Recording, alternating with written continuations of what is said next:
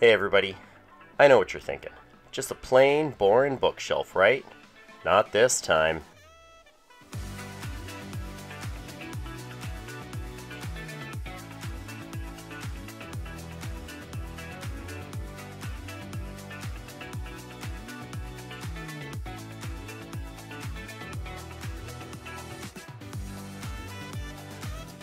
Today, I wanted to go over this bookshelf I built for my niece. She asked me to build her this so it would fit this particular spot in her wall. It was pretty much useless space until then, but I thought I would take it one step further and add these really cool LED lights that show up out of nowhere, almost like it was magic. She's a gamer and loves stuff like this, so I thought I'd really have some fun with it. This is how I built it. I hope you guys enjoy. So the key to this project were these hexagons. I was going to need a lot of them, so I decided to make them out of this 1x4 spruce that you can get for pretty inexpensive. And the best way to make a hexagon is using a miter saw set at 30 degrees. This is a great way when you gotta make as many as you possibly can in a short time. I started off by cutting one hexagon. So I took this scrap piece of 1x4 and I cut the end off at 30 degrees. I measured halfway down the cut side and I cut that side at 30 degrees as well. So it looked like something like this. After that, you measure the adjoining side and cut that at 30 degrees as well.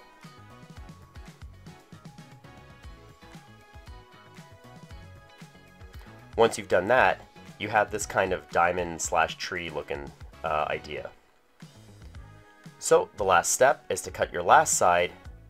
So I measured down and then cut that last side at 30 degrees. Then I had my first hexagon. It wasn't absolutely perfect, but it doesn't need to be. Because this is a piece you're going to use to set a lot of your measurements. So the first thing I did was cut one of my spruce pieces off with enough length that I could actually clamp it down.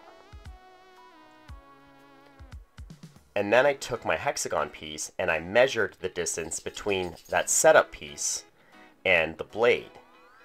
Once I was happy with that, I locked down my setup piece as tight as I possibly could.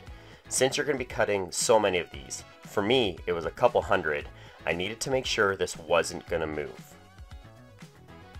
Once I was sure I had it set pretty good, I got my first piece of spruce set up. Now it's important that you get your offcut piece as an opposite angle that you're going to cut. You don't want the angles parallel because that'll make for cutting your hexagons very, very difficult in the next process. So if it's parallel, just flip over your offcut piece and that'll fix that. Once you're happy with your setup, you can start cutting your pieces. You should have something that looks like this little pyramid piece without a top.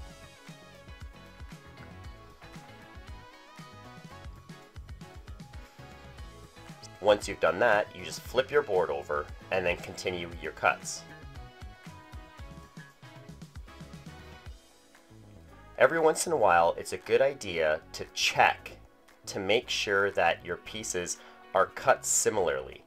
Because sometimes when you have an offcut piece clamped down and you're pushing against it one after another, you can actually kind of slowly uh, distance that piece and then you'll lose that exact idea that you were looking for.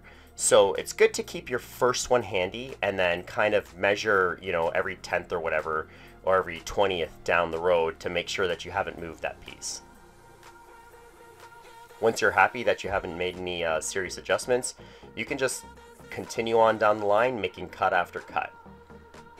Like I said, this made pretty short work of this. It was uh, it was it was a pretty good setup.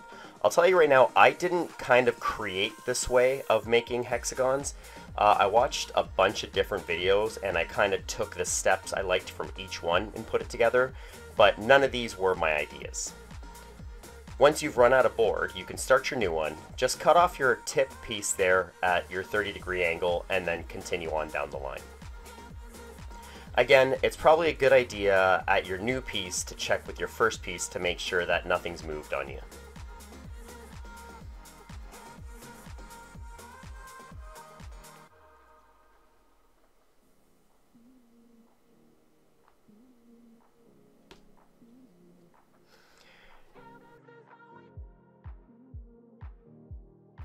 So for the next part, uh, what I did was I actually set my miter saw to the other 30 degree angle because I found this a lot easier to do it this way because I'm right-handed.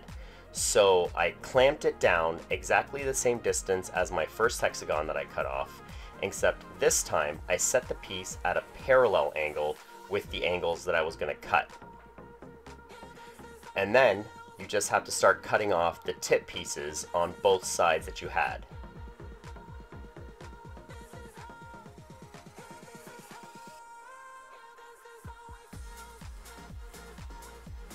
Now, I'll give you a heads up now. These little end pieces that you're cutting off, you're gonna wanna keep them. You're gonna need spacers in between your hexagons when you're laying this out. So you're gonna have a whole bunch of these.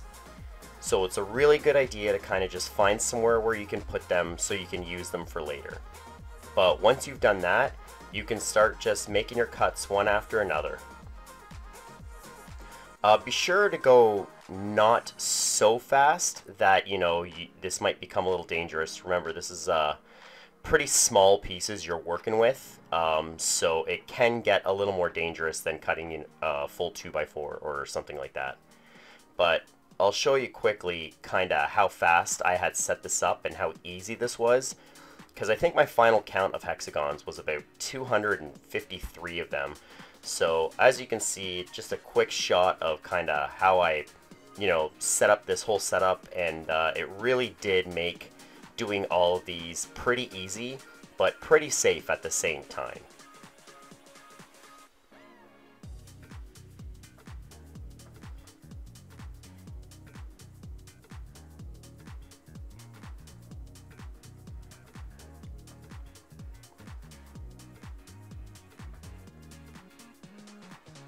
And there you have it.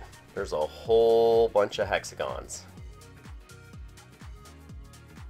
So once I'm happy with uh, how many I had, I was pretty sure that was going to be enough. It was time to make my form.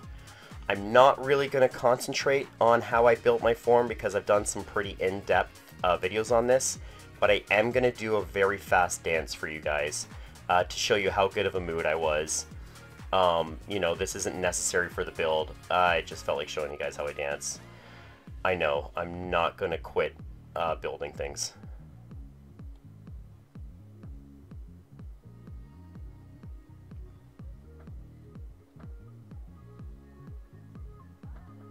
I kind of did a uh, far up shot to show you how big this form was going to be. I don't tend to make these giant forms for these 4x8 epoxy tables.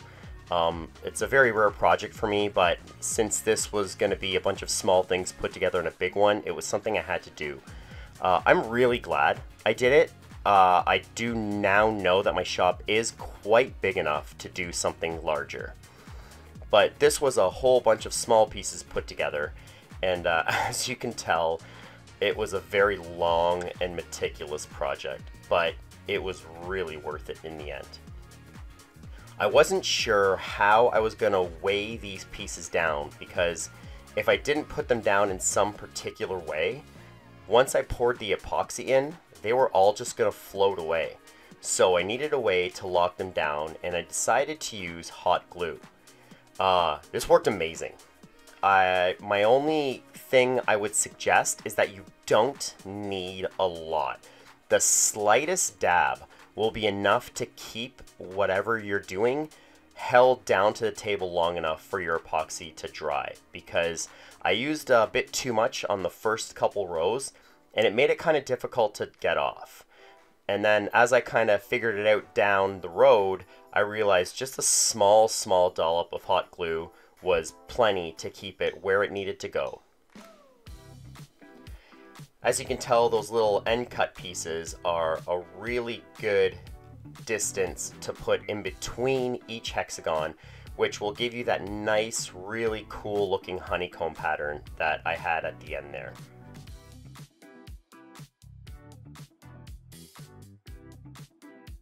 So I kind of hammered these through one after another, and then the great thing was, once you had glued the last one down, you were pretty much ready to take away the first bunch of spacers and move on with the next part. And as someone with severe OCD, this was so satisfying. I wasn't really sure how this was going to look. I had a kind of couple of ideas in my head, um, but I wasn't totally sure. So before I took a full shot, I wanted to make sure I vacuumed out any little piece of dust and everything. I was going to be using clear epoxy. Um, that was eventually going to get covered anyway, but I thought it would be best to keep it as clean as possible. And this looked so cool. I may actually try a bunch of different variations of this idea in the future because I did not realize how cool this was going to look. It was a bit of a long process to get to this point, but in my opinion, it was well worth it. Once I did that, it was time to mix up my epoxy and start my first pour. There was no way I was going to know how much epoxy I was going to need for this. It was going to be impossible to calculate. So what I did was I made a bunch of small batches every once in a while and poured them in slowly because this way I was able to tell how much I was going to need without over pouring or wasting a whole bunch. I didn't know if I was going to need a lot between each one or it was going to take way less than I thought.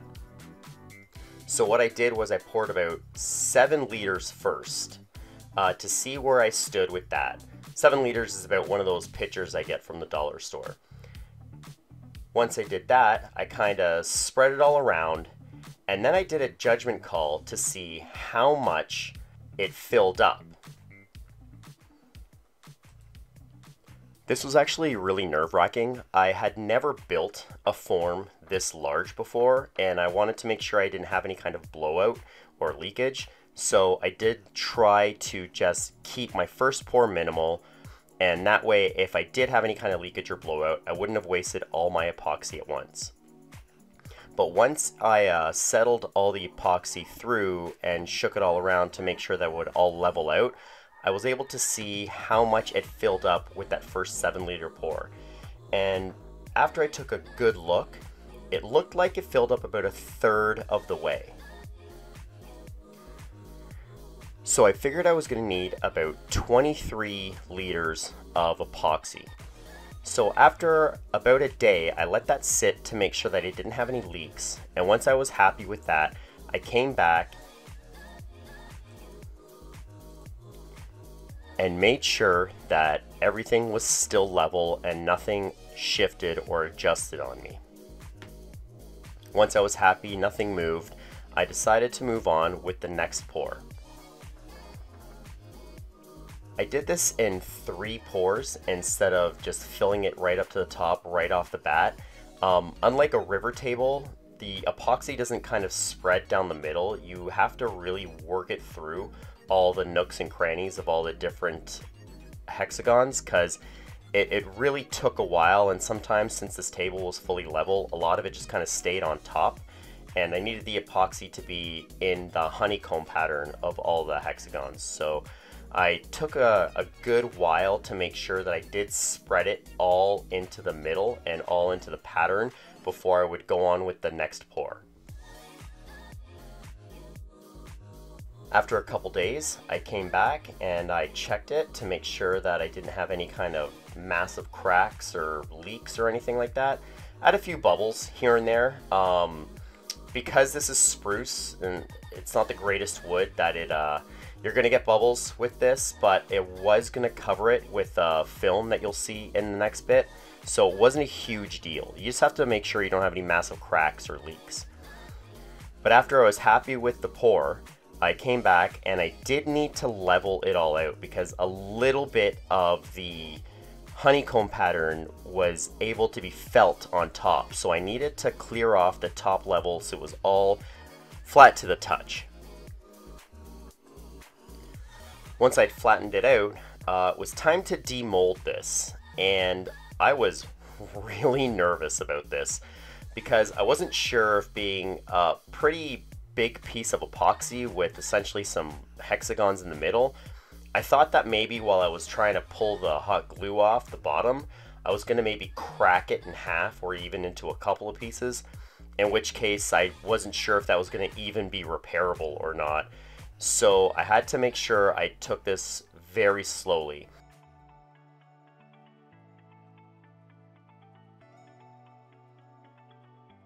However, when I started demolding it, it felt like this was more like demolding something that was rubber. It was extremely malleable and very bendable. So I was actually able to use a chisel to get in there because I wasn't going to chip it or anything. Um, it was just completely bending. And the biggest problem was just getting that one side of hot glue where I used too much to get it off. But because it was so bendable, it made unmolding this so easy. I mean, physically it wasn't great, but I was uh, I was really happy with the fact that I could demold it without the worry of cracking it. I mean, look at my face. So once I did that, I decided to cut it down to its almost final measurements. I wanted to give myself a little bit of playroom to have uh, just in case.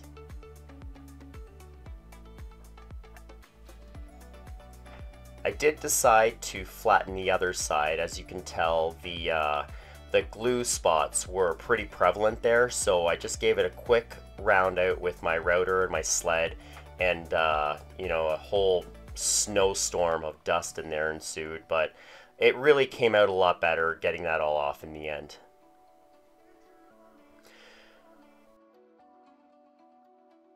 Um, a lot of people hate sanding. I actually kind of find it relaxing. I don't know why. Maybe it's because I, uh, I have my music in there. I've got two dust collection systems in my shop as well. So I don't really need to wear a mask. It's never really an issue when I'm sanding. Uh, between my vacuum, my you know HVAC system, and my actual extra little vent that I installed, it really does help keep all the dust at bay. It doesn't bring it down to zero, but it does help quite a bit. This first process of sanding was pretty difficult. Um, my router bit was pretty old and pretty beat down, so it left quite a few burn marks throughout the entire process. So it took a couple of 40 grit sandpapers to get it down to where I need it. But once I did that, it, uh, it was a lot easier. I'm not really going to show you the different processes of sanding because after this one, it didn't really show up very uh, differently after each process. However, I will tell you that after I sand something with epoxy in it, I do tend to clean it off with a little isopropylene rubbing alcohol. It's great for when you're doing something like this. It cleans off a lot of the dust, but it doesn't really change the texture of the wood you're working with. It doesn't water pop it. So it's a really, really good way to get as much dust off of your project without having to re-sand it after that. Next, I wanted to make sure that I actually sealed the hexagons. I mean, I was using a pretty inexpensive uh, kind of spruce material. So I thought it'd be a good idea to seal it so the individual hexagons wouldn't maybe crack over time. I didn't think they would, but I had a lot of this uh, pretty inexpensive uh, sealant lying around. Thought I'd give it a try, and also this gave me an opportunity to try buffing in a sealer. I've seen it done a bunch of times. I've never really given it a try. And uh, I had this buffer lying around for the longest time, so I thought I'd give it a try, and I'm actually really glad I did. Whoever kind of came up with this idea, I gotta pat you on the back. This worked really well. Because buffing in something this size with your hand is just insane. I was a little worried that I might kind of scratch it up a bit more and then have to resand it, but no, I mean, this is, uh, this is a really good way of doing this. A lot of people don't really have these huge buffers lying around. I picked it up on sale somewhere. However, they do have buffing attachments for your regular orbital sanders. So if you are looking to try something like this, you can just get an, an attachment for your hand sander. And uh, I think that'll work out really well. Um, I had to buff out the other side as well, but there's still a lot of dust on that main piece of board that I'm using. So I use these automotive wipes uh, to clean off any like dust that's left. And I love using these for this project. You'll see that it really does clean off the dust and it keeps it in the cloth. It doesn't really come off after you use this. I was uh, wasn't very sparse using this sealer. I didn't really mind. Again, it was kind of this extra one that I had lying around, so and I was really just kind of trying to seal up this, you know, inexpensive spruce. So I was absolutely ecstatic with how it looked after. It was almost a shame to have to cover it up once I did this. But I really wanted the effect of the LED lighting to show up out of nowhere. I thought that was going to be the coolest part of this project. So I had to cover it up, but again, I think I'm going to try something in the future with this idea because this worked out so cool. I got this backer board um, for the back because when I install the LEDs, I don't want the back to shine out so much. So I had to cut this in the same time that I cut the rest of this board because it did have to fit a very specific spot in my niece's bedroom. So luckily it was a very simple 45 degree cut um, because her bedroom is up in a renovated attic. Uh, it's really cool looking bedroom. I got to give it to my brother-in-law for doing that. But this one spot was kind of hard to fill, so she needed this to cut in a very specific way. And since everything else was done, it was time to cover it with this white film. This was so unbelievably difficult to use. I don't know if it's meant to be used on something so large or if it's just meant to be used on a board or maybe on a wall, not something sitting flat, but it was very, very difficult to put on. I'll tell you right now, whatever camera angle you're watching this in, I didn't really do an amazing job of kind of covering this up. But luckily, after the shelves and everything were installed, it was very, very unnoticeable, even when you're looking at it pretty close on. I did toy with the idea of painting this instead. Unfortunately, when you're painting something, it's really hard to get good coverage and to completely cover up what you're trying to do with just one coat. And I was afraid if I did paint it, I was going to cover it up to the point where very little of the LED was actually going to shine through. So I figured that this was going to be my best bet to do this. So I really just kind of took my time and worked with it as much as I could.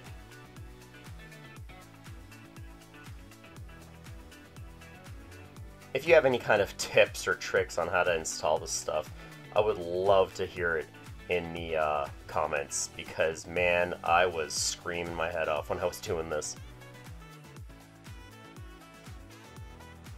If you guys do like these kind of videos, um, please feel free to subscribe. And I, I love comments. I mean, I've had so many amazingly positive comments um, and very, very few critical ones. And even those critical ones were done in actually kind of a positive tone. It was, it's really nice to see. I'm loving doing this channel. Uh, you guys have all been amazing. So if you haven't subscribed just yet, please feel free to subscribe and make any comments you like, any suggestions on anything you'd like to see me build in the future. The next up after putting the film on was I needed to put a border around the back so that when I installed the LEDs, I would have lots of room to work with and nothing would ever bang against them or squash them or anything like that because the LED was a pretty expensive but somewhat fragile idea. I used these electrical clips that you just hammer in with a regular hammer. I wasn't sure how to install these. They came with clips, uh, but it wasn't going to work for this project, so I had to try something different. And these were amazing. Uh, they gave me all the hold I needed, but it didn't damage it. It didn't scratch the LED. It was it was a really great, great way to hold this in place. Uh, I do need to make sure that this film idea was to work. I didn't have any way to test this prior, so I decided to give it a try now that everything's all done and installed, and I was pretty nervous because I'd spent all this work on this up until now. So here we go, and you can't tell because the lights are off, but man, I was jumping up and down when I saw how clear the LEDs came through the the film. It was it was unreal. I was so happy I went with this idea instead of painting over it because this was amazing. Once the back is completely covered up, you can't tell there's anything there. It's completely white. So now that I was really happy with the result, uh, very little was left to do. I just kind of got these 12 inch melamine boards. Um, I needed something that looked very similar to the film that I installed. It kind of still had to look uniformal. So I got these melamine boards, uh, which was great because they were kind of already cut down to size. I just had to cut them lengthwise.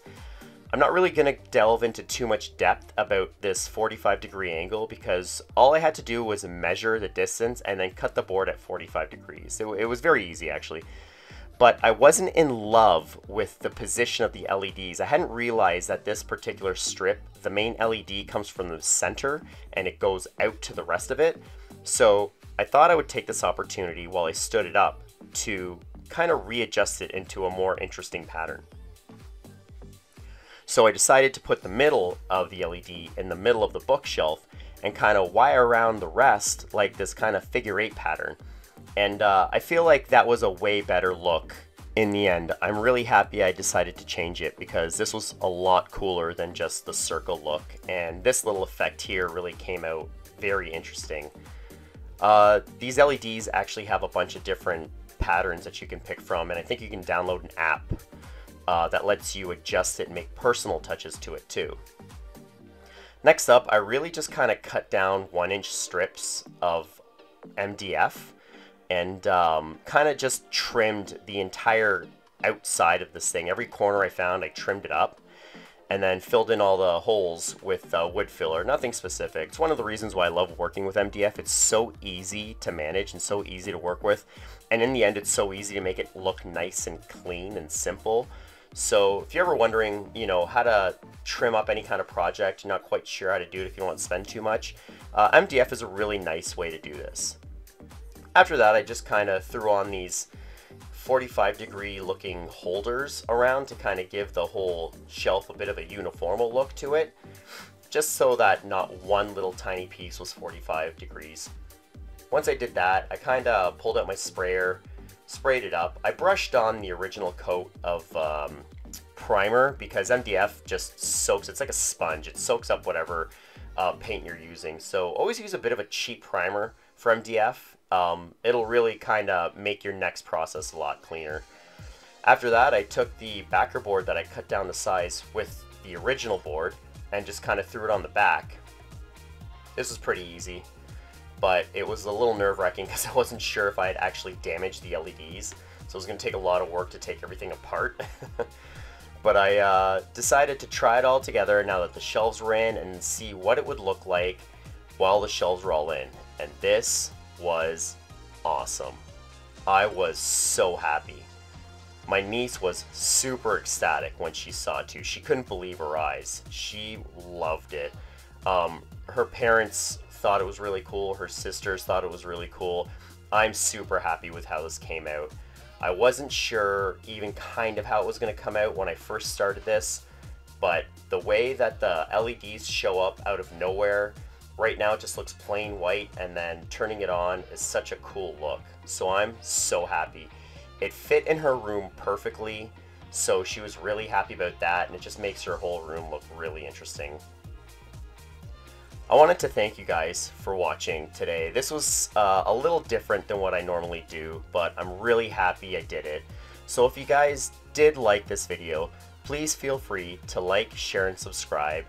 Feel free to add any comments. I try to respond to as many of them as I can. I haven't not been able to respond just yet. So once again from all of us here at New Classic Designs, thanks for stopping by and I hope I see you again.